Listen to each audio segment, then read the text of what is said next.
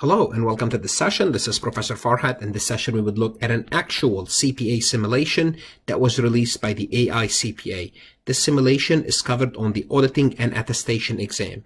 As always, I would like to remind you to connect with me with, on LinkedIn if you haven't done so. YouTube is where you would need to subscribe. I have 1,600 plus accounting, auditing, finance, and tax lectures. This is this, these are the courses that I cover, including hundreds of CPA questions. On my website, I offer, I offer additional resources such as multiple choice, true, false, CPA simulations exercises or quasi CPA simulation exercises, 2000 plus CPA questions, as well as additional resources covering a lot of topics.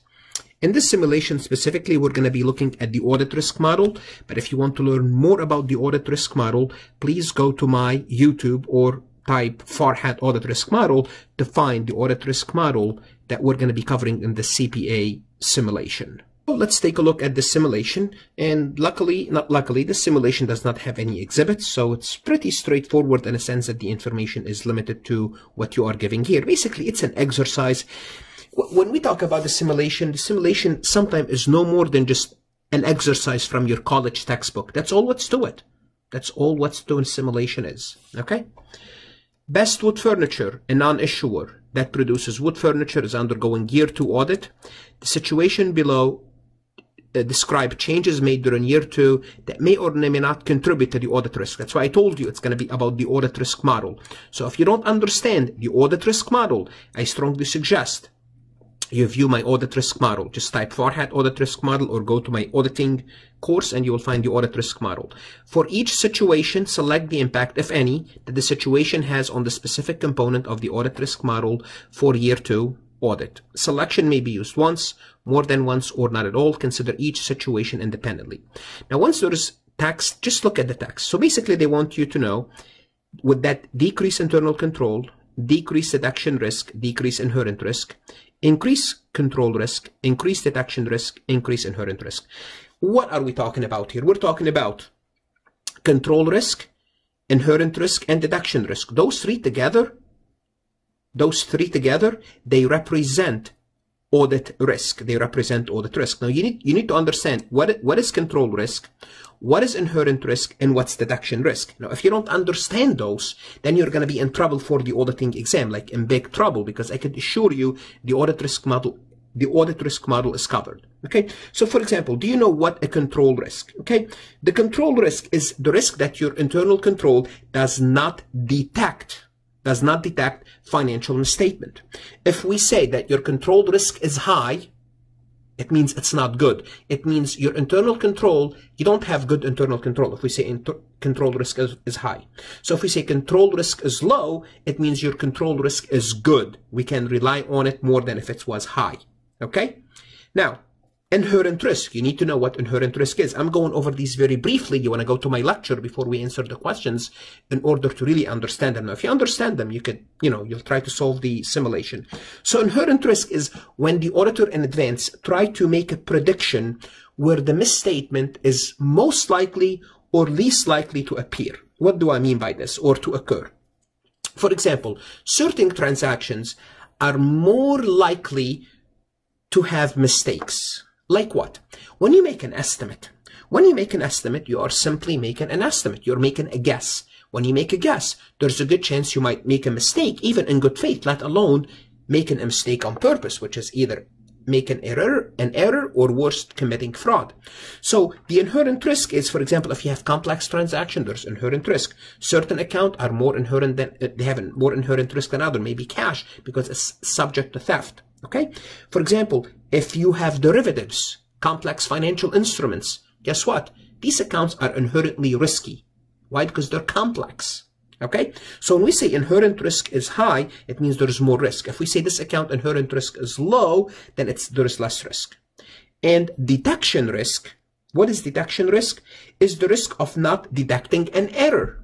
What does that mean? It means you do your job, but there's still risk of not detecting an error. So if you set, if you set, uh, if you want to reduce that detection risk, what do you do? you do more work. So if you want to say, I want to reduce my detection risk as, as, as low as possible, well, guess what? If you want to reduce your detection risk, the risk of making an error, do more work. It's as simple as that. Okay? So, so the, these, these what the, these risks are. But when you get to the exam, you have to know what they are and you have to apply them immediately in a, in a problem like this. Like if you are prepared, this should be a walk in the park, in my opinion, if you know the audit risk model. But let's go over it to see how it works. In year two, the auditor noted that the company's newly hired purchasing agent was not obtaining competitive bids on all major purchase requisition as required. There we go. This is the situation. This is what you know now. That the new purchasing agent is not, is not obtaining competitive bids. Is this detection risk? First of all, is this a detection risk, inherent risk, or control risk?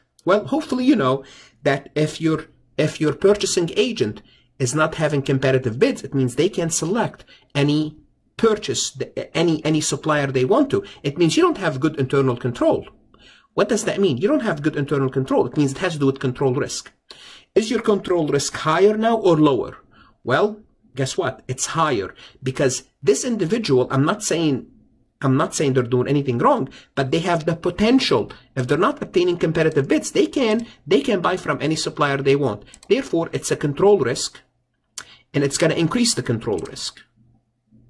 Now, if you were told the opposite, if you were told we did not have uh, competitive bids and now we now we do, then that's going to reduce the control risk. It means the company have more control in terms of protecting their finances. So we're going to increase control risk because of that. And the good thing about this simulation, each scenario is independent. So if you get the first one wrong, you might get the second one right. Early in year two, the company expanded its warranty program to cover additional major product in an effort to increase sales. So what they did is they increased their uh, increased their warranty program. Now, uh, is this a detection risk? Not really. The risk of not detecting error, that has nothing to do with detection risk, so that's out. It's either control risk or inherent risk. Well, what is, there's, we're not talking about any controls here. All what, all what happened is, is the company is increase their warranty period. That's all what they do. And guess what? When they increase their warranty period, when they expand their warranty, their warranty expense will have to be, generally speaking, will have to be increased. Warranty is an estimate.